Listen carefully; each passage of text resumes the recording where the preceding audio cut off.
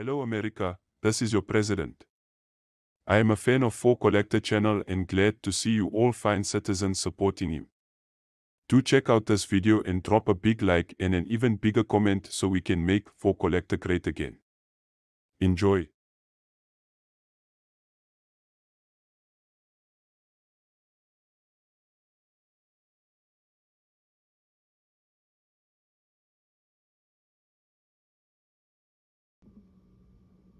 Hello guys, welcome to 4K channel. Today I'm going to share with you some cool Notgelds and also hyperinflation money from post World War One Germany. We're talking 1920s. So the World War One had ended, Germany lost, France and all the allies imposed huge fines on German state, uh, which led to basically decline of Weimar Republic economy, leading to massive hyperinflation and uh, need for emergency money or Notgelds. So here we have a complete set of four Notgelds issued from this old town in northern Germany by the name of Itzehoe. Uh, this is basically in the state of Schleswig and Holstein and this is also the capital of district Steinburg. Um, these Notgelds are really cool because they are designed by a famous German uh, expressionist, painter, and graphic designer by the name of Wenzel Hablik. Uh, he was born in 1881. He lived until 1934. He was actually born in Bohemia, uh, but later settled in this small town called Itzehoe, Germany in 1907. So he actually designed uh, these Notgelds. So let's take a quick peek at these. They have this really cool art deco design. So this is the smallest denomination here. This one is 25 Pfennig. And I really like uh, how the lettering, the Notgeld, is right across the face. Now all of these were issued with some hidden meaning and uh, basically for this complete set um, the theme was necessity knows no law or boundary. Necessity knows no law or boundary. So it's basically symbolizing social and economic crisis uh, that Germany and German people were facing after World War One. So at first glance, there's a lot of writing, but if you look closely, it actually gives you the, the comparative prices of goods uh, as compared to 1913 to 1921. So it's basically uh, making you aware of hyperinflation in 1920s Germany after the World War One. So, you know, it has listed butter and other necessities and the prices. Now, here's the back of the note. And the back of the note is really cool. You can see these you know the desperation. Basically the the hands trying to reach out of the water and they're trying to grasp this grain the wheat grain which is which is kind of seems out of reach. And then you have all these fish which are basically symbolizing chaos. So that's the 25 Pfennig Next up, we have the, the next denomination is the 50, 50 Pfennig. And here again, we're comparing prices of goods from 1913 to 1921. And this one on the back has the the map or a like a topographic map of the city of Itzehoe. So you can see a little river running by, roads, and all these, you know, living quarters in brown. So uh, we can see the, the value 50 kind of sinking and the pfennig sinking in the water, kind of symbolizing how you know the hyperinflation is catching up and kind of surrounding the city. Next one is the 75 pfennig. You can see the 75 in the background.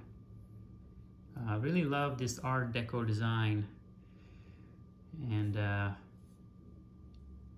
the serial numbers. They all have a serial number. Now let's take a look at the back.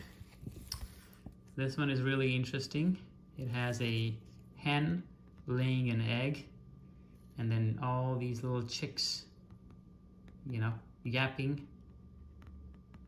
So basically, you know, one hen and too many mouths to feed is the theme here. Uh, next one and the last one in this series, which is super interesting. Again, they all have very artistic design. This one kind of like a CD or a record player, you know, semicircular design here. Uh, this one is actually one mark. One mark. And the back here is really crude. I don't know if you can make out. Here's a person smoking a pipe, squatting, and then you know out comes you know numeral one. So uh, this person is basically out of necessity is in the out in the open in a meadowy field you know relieving themselves squatting down and you know out comes the money. So kind of you know the face value or the the back value I should say of the denomination is kind of depicted as worthless you know? So uh, really like this little bird up here you know? Kind of curious what's going on. So just a really cool clever way to depict misery you know just hunger chaos and uh, desperation. Uh, now there can be a lot of meanings out of these designs so this is what I could come up with um, let me know in the link, I'm sorry, let me know in the comments below, what do you think? Um, is there anything else I missed in what, you know, Wenzel Hablik is trying to convey through his Notgelds? I'm sure if you're a German speaker, you could kind of read the text and kind of delve more into um, his thinking in designing these beautiful uh, kills. So moving on, we're gonna stay with Hablik. Um, I have these two gorgeous and somewhat rare uh, hyperinflation money, also designed by Hablik. So let's take a look. We're gonna start with this 1 million mark. So now you have jumped from pfennigs or one mark all the way up to 1 million mark. And uh, these, um, this one is a uniface. There's nothing on the back. This particular one is amazing. Um, it's a lot to see here. So up on top, you know, you just have the the Itzehoe state, uh, 1 million mark, serial number. Uh, the, this was issued, uh, oh, by the way, the previous Notgelds were issued in 1921 this is issued two years later. So two years later, the hyperinflation has gone crazy. That's why you have million mark being issued at this time. And uh, this here, there's lots to see here. So let's kind of get you oriented. You have clouds in the background and breaking through this clouds is this all-seeing eye of providence. Um, but the interesting thing is there's this eye is crying these bloody tears. And um, before I show you the bottom let's look at the top.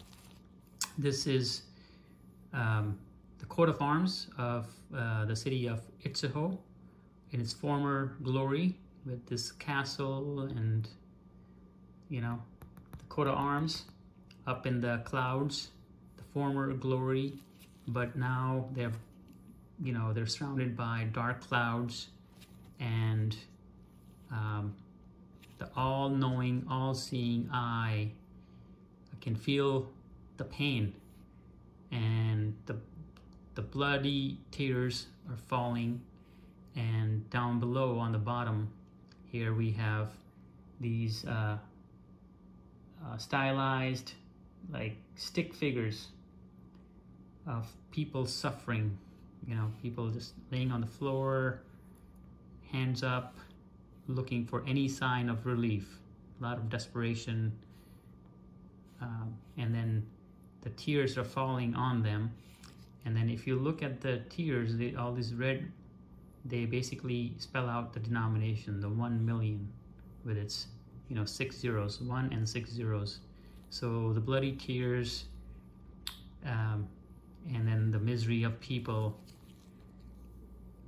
while the old glory of uh, is lost so this one here is a really neat, neat design with a lot of symbolism. Again, let me know what you guys think. Is there any other hidden meaning uh, in this design? Next up, another beauty. Now we have gone up to 5 million. So this is 5 million mark.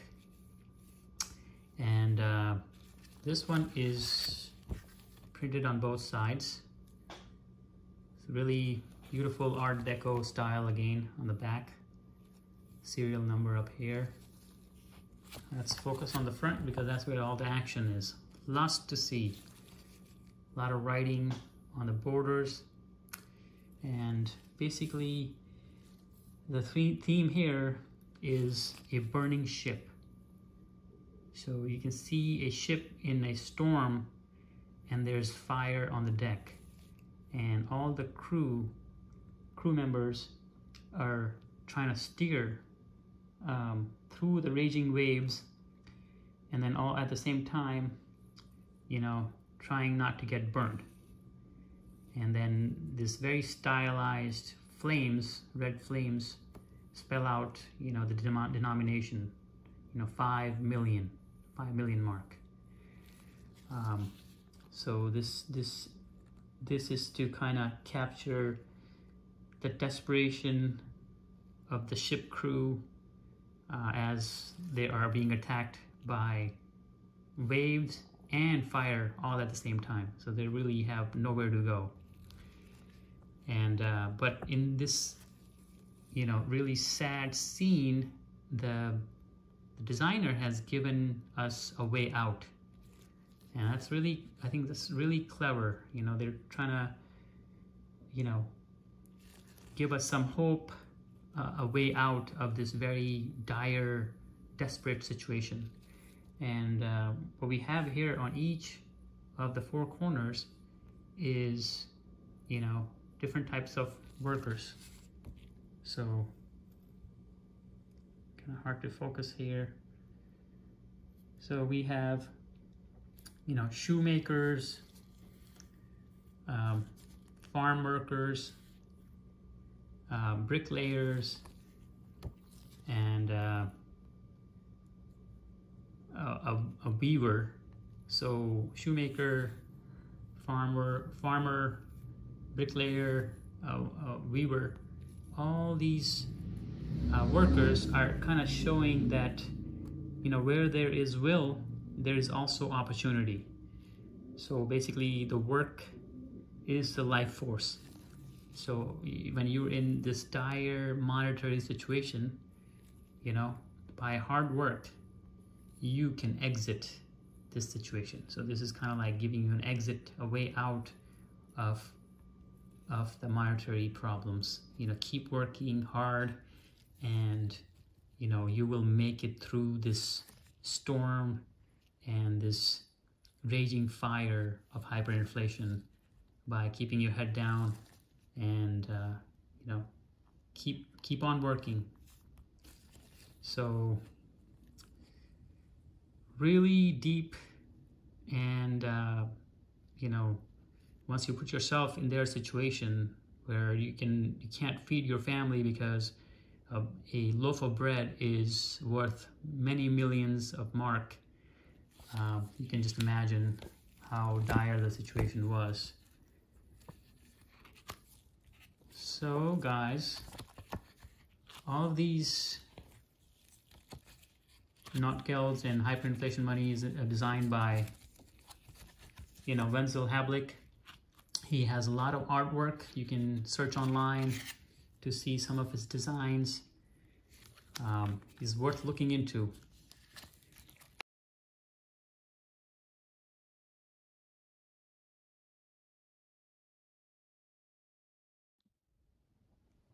Next guys, I'm going to show you these two awesome hyperinflation money. These are actually issued by the state of Vohwinkel.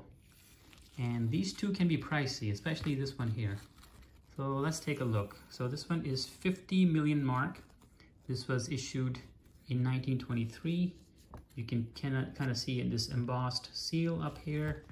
These are, you know, printed on both sides. The back is kind of simple. The front is where a cool design is. Uh, on the right here, we have a witch and a poem. So this one is called Witches One Times One. So this is a poem from a tragic play written by a famous uh, German writer, uh, by the name of Goethe. So he wrote uh, this two-part play, part one in 1806 and part two in 1831. In part one, um, a protagonist by the name of Faust souls, uh, sells his uh, soul to the devil because he wants more power and love. In the second part, Faust, who has soul, uh, has you know, sold his soul, gets finally redemption and goes to heaven.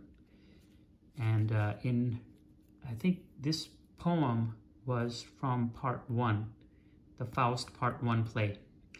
And no one really, my understanding of this is that no one really knows what this, this is kind of like a riddle, like a math problem or a math riddle uh, that doesn't add up, meaning um, you know, when I give you the my translation of what's written out here, uh, if you try to solve this riddle by what it literally says, you don't arrive at any answer. It just doesn't make any sense. Things don't add up. So it's kind of like a mystery what this all means. What's the hidden meaning behind this riddle called the witches one times one. So let me tell you what really is going on um, so basically this witch in Goethe's Faust 1 is standing over a boiling cauldron and reciting this multiplication riddle. And um, I'm going to give you the translation now. You must understand from 1 uh, make 10 and 2 let go and 3 the same. So you are rich. Lose the 4 from 5 and 6 So says the witch, make seven and eight, so it's complete. Nice is one, and ten is none. That's the witch's one times one. So I really don't know what that means, even though I read it off to you guys. Um, if you are familiar with this, if you know what all this adds up to, what is this all about, let me know. I think um, this is just a tribute to this, you know, well-known German playwright, uh, Goethe, uh, and they put the witches one times one just because it's a cool rhyming math puzzle that no one has solved. And this might uh, just be a nod to the hyperinflation craziness. No one can do the math in, in their head when you have to deal with these large numbers like 50 million. I don't even know how many zeros there are supposed to be.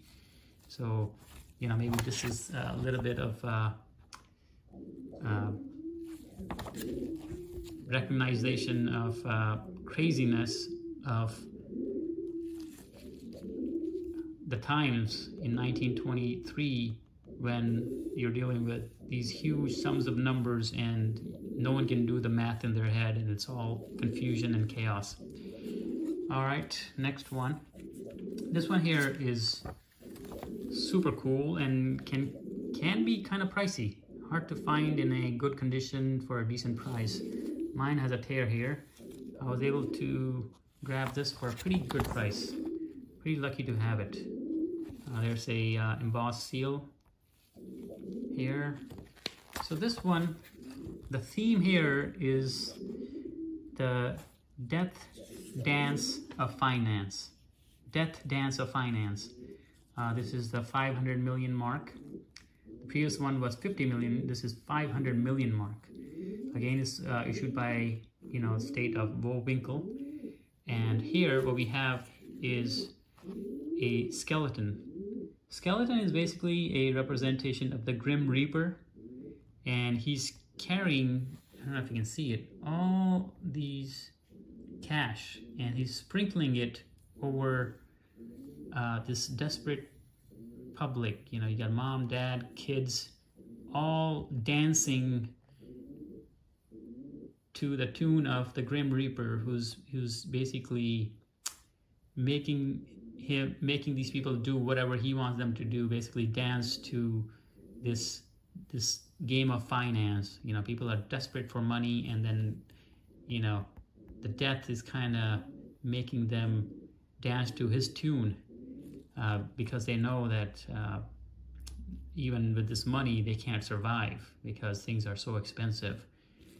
And here, you know, this is the title, Death Dance of Finance. So this is really symbolic, really cool. What I love about this banknote is all around the border in this kind of like pinkish reddish color. If you look closely, you have, you know, one liter milk cost about 152 million, you know, mark. And this kind of goes all around. So I made, a list of exactly what is listed here. So it tells you one liter of water was 98,000 mark. One pound of salt is 42 million mark. One egg, just one egg, is 75 million marks. One pound of bread is 200, 210 million marks. One liter of milk is 152 million marks. And then what's really morbid is um, them pointing out uh, the price of death certificate, which is 600 million mark, more than any other item I have told you about, and a coffin, a coffin to bury the dead is 45 billion mark, 45 billion mark. So that's the really sad state of affair is it costs more after someone dies than to feed them. So death dance of finance. Really, really cool, cool hyperinflation money. And this one here was the, which is one times one, the math riddle, the multiplication table. So guys, I hope you enjoyed this video. Give me a like and keep collecting. 헬로 가이즈, 호프 디스 비디오 워즈 펀. 리브 에이 라이. 테이크 케어. 고드 바이.